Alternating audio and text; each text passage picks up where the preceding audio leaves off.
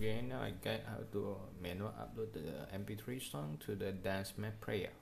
Okay first step you open the google chrome or pc you open two page one page is the youtube another is the this one download video from youtube y2mate.com is link.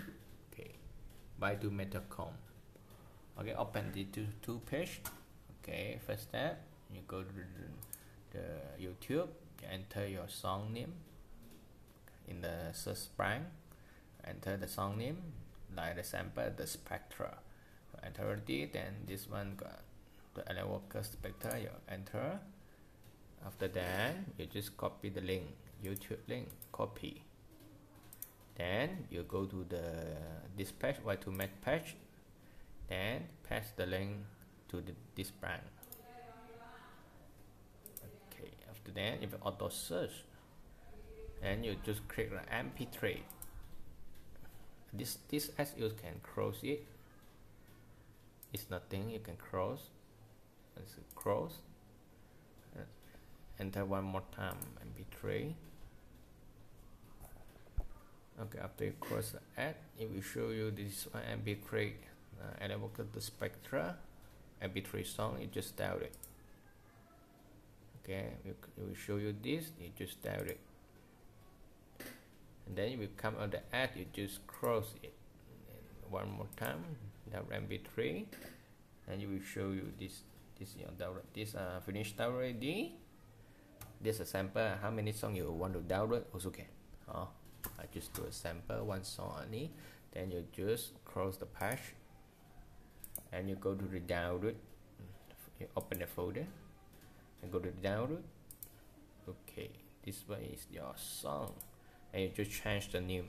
Uh, just change the song name. No need the singer. Okay? Okay after you change the name it's like this. Okay I move to the desktop. Uh, it's okay. Or you can create one folder and put all the song inside also can. Okay after that okay after that you just connect this and the dance mat player the white box to your PC or laptop via by the micro USB cable. This cable have to use your own U uh, micro USB cable. The backend is not include this cable, only include the uh, normal USB cable. This have to use your own micro USB cable and then you have to connect to your PC laptop USB port. Okay, after connect, yeah, you just press on. And the red light will bring. Okay we're blinking and after that go back to your desktop. Okay open the folder. Okay. Okay just open the drive the dance mat drive. Just append you got the three folder. Okay.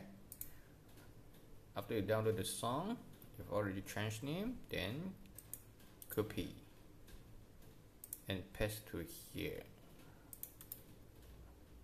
Just paste it to here. Okay. All the song you can download one time then all copy and paste to here.